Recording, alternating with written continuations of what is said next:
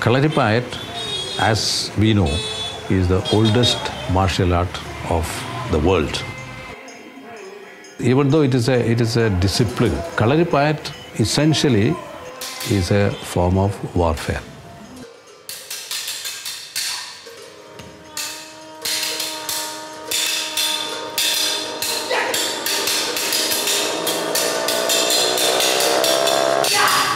My name is Prasad, S.R.D. Prasad, that is Sri Raj Devi Prasad.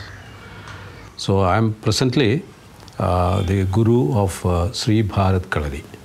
Sri Bharat Kalari was uh, founded by my father, the late uh, Chirakalti Sridhara Nair, in 1948. Kalaripayattu, in short, is the defensive art of Kerala. It is Kerala's own martial tradition. Uh, it uh, traveled abroad and influenced uh, even other martial art forms and emerged as new martial art forms elsewhere. That is how karate, kung fu, and the original form jujutsu spread in China and uh, Far East. Talking about the, the whole structure of Kalaripayat, it is uh, done inside a kalari. Kalari is also specially made. Uh, the topsoil is removed to a depth of maybe three to four feet. And in one corner, there will be a presiding deity, where we call Putara.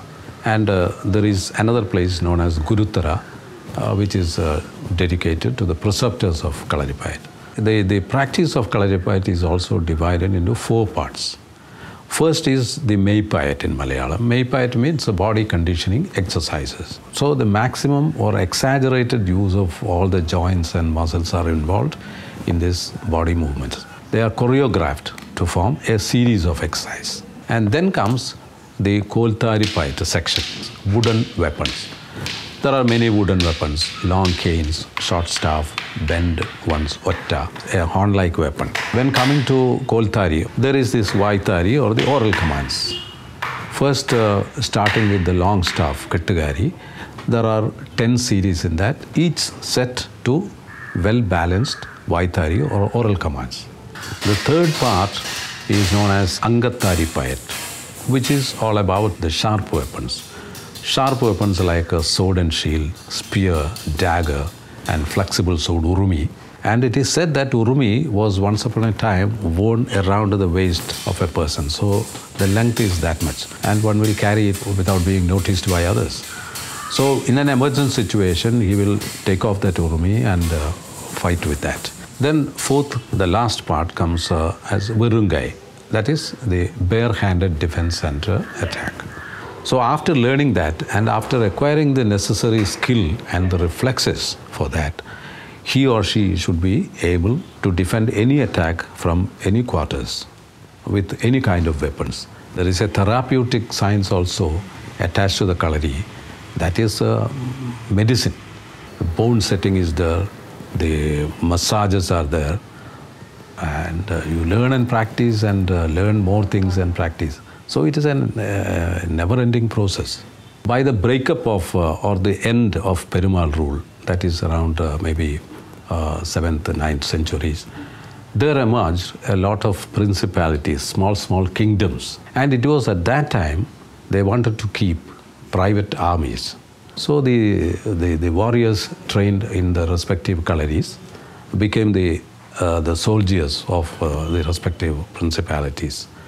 Kalaripayat uh, practitioners, experts, as a form of justice, uh, went as hired mercenaries also. And uh, Kalaripayat had its golden era at that time.